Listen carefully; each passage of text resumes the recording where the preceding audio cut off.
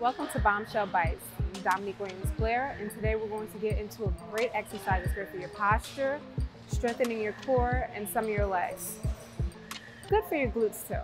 And this is bridge pose with yoga. So come here. What you're gonna do?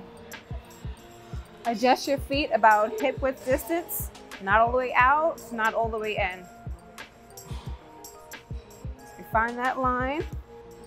And you're gonna do the same with your arms. And here. And you're gonna thrust like what you're focusing on, we're pushing up. It's not for, it's lifting right here. You're gonna keep these there. It's a gentle exercise. It also helps with digestion. If you have digestion issues, you get there and you wanna hold.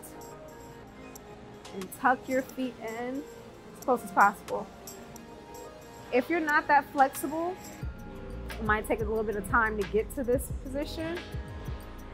But once you're there, you'll feel it and you're gonna try to hold it at least 30 seconds to a minute and you'll feel it also right here in your legs. Feel it in your glutes. So it's a nice toning exercise. And drop it down slowly and up again.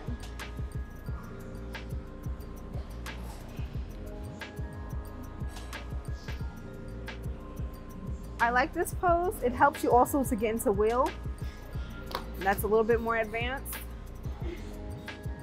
But it helps with your flexibility and your posture because you're working with your spine. But if you want to get into wheel, you're feeling so inclined, you're gonna have your hands like so. You wanna tuck in your elbows just a bit, not too close to your face and not too outward. Find that medium ground and lift, just like when you're lifting a bridge, you're gonna lift right here, your abdomen. And push.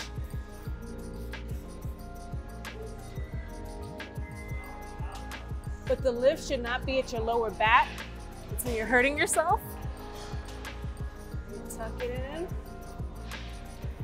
And lower it down slowly. Might be a little hard to not splay your arms.